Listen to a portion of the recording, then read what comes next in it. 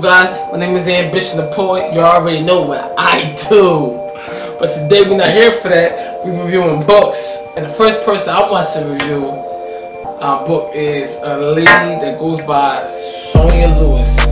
This is the success guide to student loan debt repayment. I'm telling you guys, if you have debt, if you have student loan debt, which I'm sure you do, you need to get this book. Now, let me just go through and get straight into it because you know people want to get right into the excerpts, man.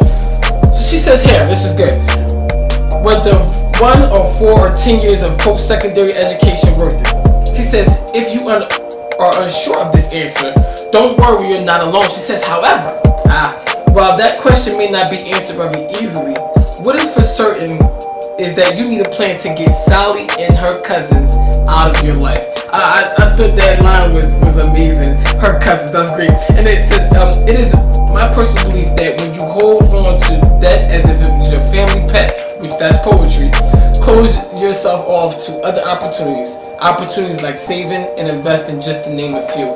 I thought that was amazing. The guy, guys, again, this is definitely uh, Sonia Lewis' book. They call it a student loan doctor. If you don't know, you need to go online, follow her immediately. Workshops, um, boot camps, whatever you need, she's doing right now. Let me get to the, the next thing I just want to go over, which is an amazing acronym she came up with. Of course, it's called Your Plan.